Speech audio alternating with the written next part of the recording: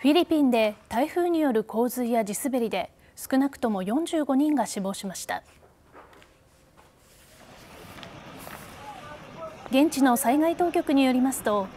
台風22号がもたらした大雨で南部ミンダナオ島などでは洪水や土砂崩れが発生しました。深夜に降った大雨で逃げ遅れなどから被害が拡大したとみられこれまでに少なくとも45人が死亡しました。映像では胸の高さまで水に浸かった村でレスキュー隊が住民を救助する様子や